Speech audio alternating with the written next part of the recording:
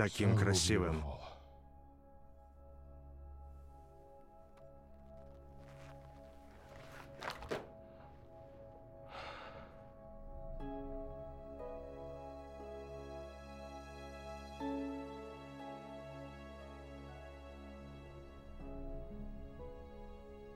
Мой сын был смелым, хорошим мальчиком,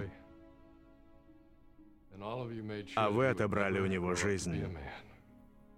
Все должно было быть по-другому. Каждый из вас мог его спасти, но для вас он был подозреваемым или просто цифрой, игрушкой.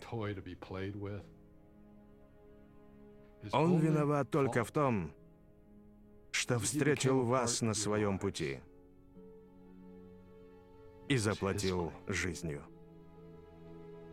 И вы ее разрушили.